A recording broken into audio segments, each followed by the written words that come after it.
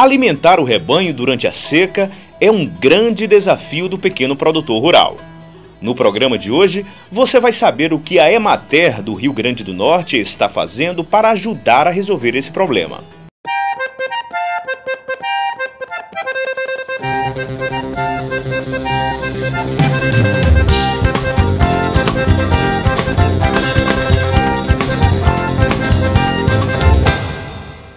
O TV Rural está no ar. A partir de agora, fique por dentro das últimas novidades do campo com as notas rurais.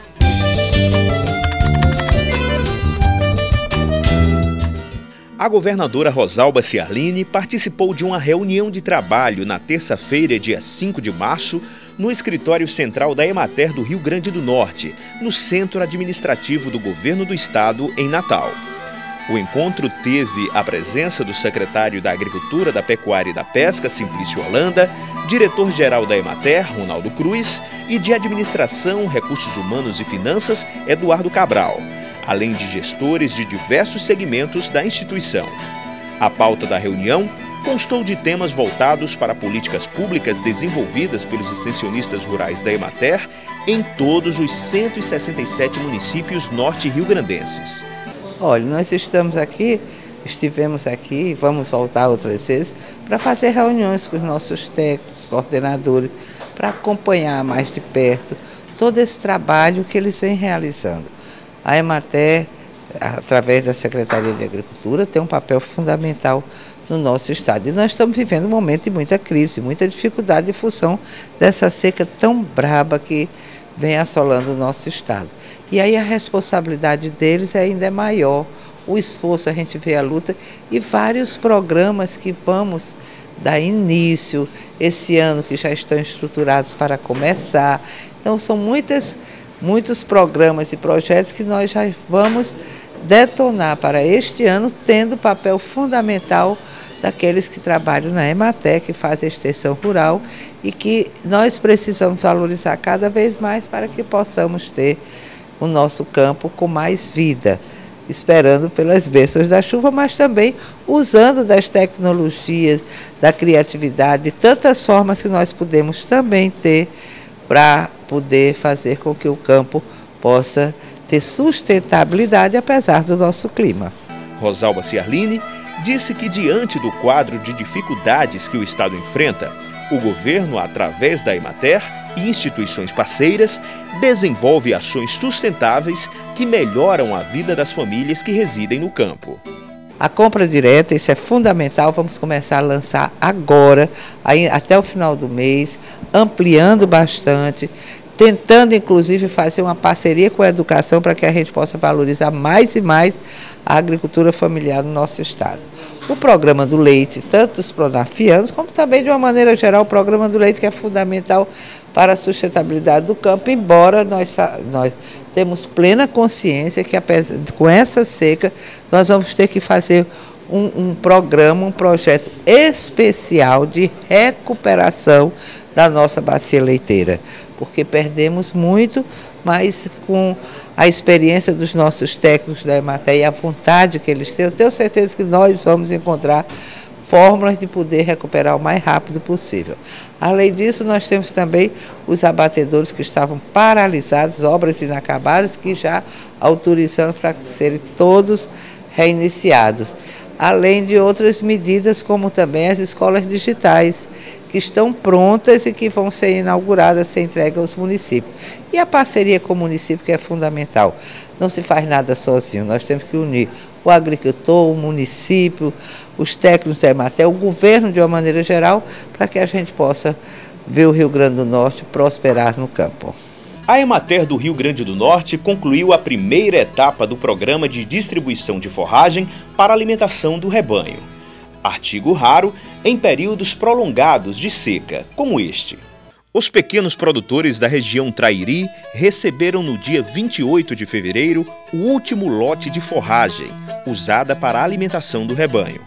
A ação do governo do estado do Rio Grande do Norte faz parte das estratégias de convivência com a seca e é executada pela Emater RN. A distribuição aconteceu em Santa Cruz, na quadra de esportes municipal, e garantiu 80 toneladas do volumoso para os pequenos produtores que mantêm até 10 cabeças de gado bovinos ou 35 cabeças de ovinos e caprinos. A forragem, feita à base de milho e sorgo, começou a ser distribuída pelo governo do estado em outubro do ano passado, em todas as regiões do Rio Grande do Norte.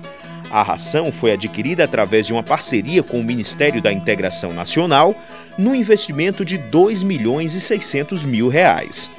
A ação durou três meses e garantiu a distribuição de quase 8 mil toneladas de volumoso a 3.200 pequenos produtores. A Emater RN montou em todo o estado 18 postos de distribuição. A distribuição dessa forragem aqui para oito municípios que compõem esse posto de distribuição.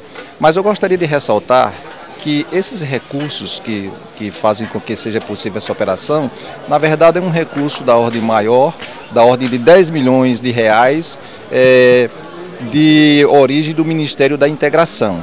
Então, em função dos esforços e, e, e da iniciativa da própria governadora Rosalba Ciarline, juntamente com o próprio comitê de, de, convivência com a seca, dentro desses 10 milhões de reais, se estabeleceu que parte deles seria utilizada em recursos como a distribuição de água através de carros-pipas, outros para recuperação de, de poços e ficou destinado para especificamente essa programação de distribuição de forragem 2 milhões e 500 mil reais, o que corresponde a 7.870 toneladas de forragem de milho ou sorgo.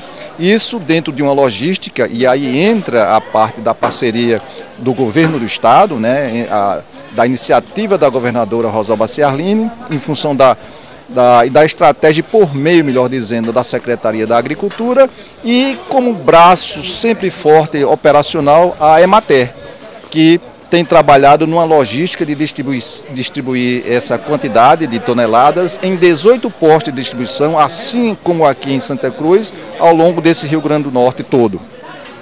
Esse programa ele estaria se encerrando aqui hoje, mas na verdade é apenas uma, uma primeira etapa. A governadora já conseguiu recursos da ordem de 4 milhões de reais específicos para que um programa como esse seja dado continuidade, ou melhor, seja ampliado e ajustado para que essa situação crítica em função dessa estiagem prolongada possa ser remediada e assistida e fazer com que os efeitos é, é, que têm contribuído para que haja uma diminuição do rebanho seja pelo menos amenizado. Então, eu gostaria de registrar isso aqui. Está terminando a primeira etapa. Teremos uma segunda etapa de uma forma mais estruturada, melhorada e ampliada. Segundo Ronaldo Cruz, a distribuição de alimentação para o rebanho terá continuidade. O governo do estado conseguiu uma verba adicional de mais 4 milhões de reais para a compra de ração concentrada de torta de caroço de algodão. A ação será ampliada para 6.500 produtores durante o ano de 2013. Nós estamos trabalhando para que não haja uma descontinuidade é, na possibilidade, nas, na perspectiva que haja um aditivo ao próprio contrato existente hoje, porque como é um aditivo, essa questão da, da burocracia, mesmo sendo uma emergencialidade, seria sanada. Então, é, nós estamos fazendo todo o esforço para que não haja uma descontinuidade. Utilizamos é, um aditivo no contrato existente e estamos já trabalhando na possibilidade, na perspectiva de um novo contrato. E que Estamos estudando através dos próprios técnicos da EMATER, da Secretaria da Agricultura e também do pessoal do Comitê de, de, de Gestão, digamos assim, gerenciamento é, da seca, a perspectiva de não ser somente o volumoso, uma, uma forragem como essa, mas a perspectiva de ser uma forragem é, mais concentrada, seria a base de torta de caroço de algodão. Para receber o volumoso, o produtor deve ser cadastrado no IDIARME quem possui até 10 cabeças de bovino recebeu 5 quilos por cabeça ao dia. Se o produtor tem até 35 cabeças de ovinos e caprinos, recebeu até 1 quilo de forragem por cada cabeça. Durante os três meses de ação, cada posto de distribuição foi beneficiado mais de uma vez.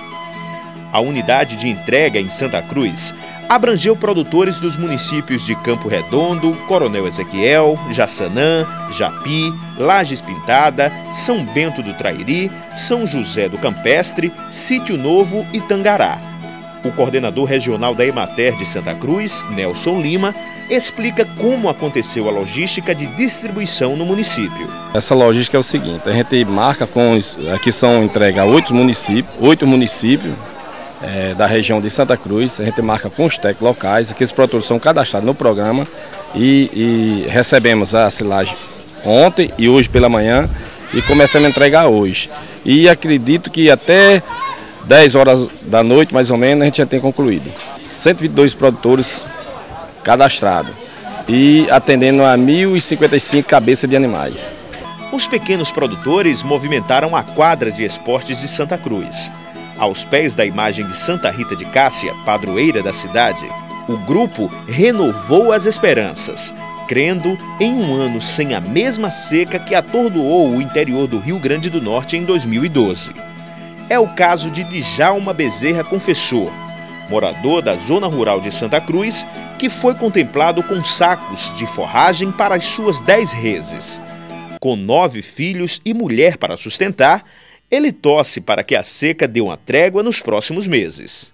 É muito importante essa ação do governo do Estado é importante demais, porque o agricultor estava numa situação que estava difícil, continua sendo difícil ainda, enquanto Deus não botar santa chuva para acalmar diminuir o sofrimento, além da despesa da família, a despesa dos animais, a despesa da água, problema de água também tem na nossa região, sabe?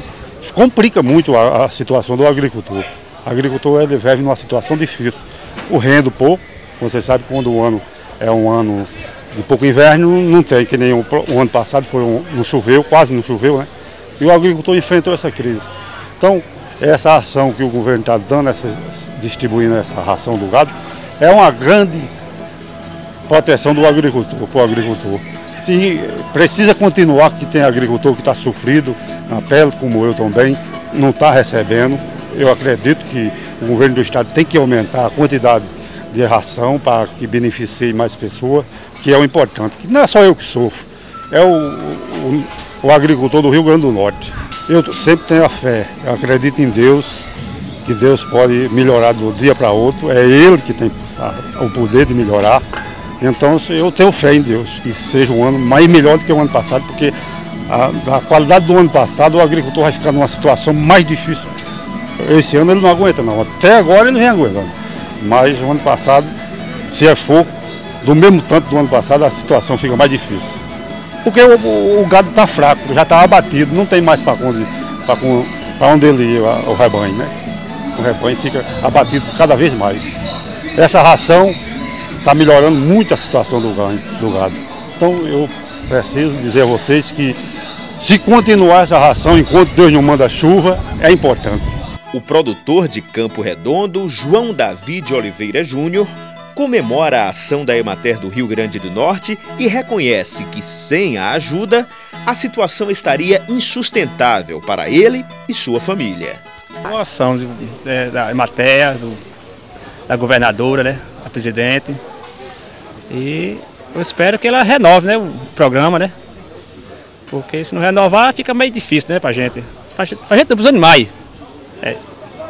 E espero que nesse ano, 2013, seja um ano bom de inverno, né?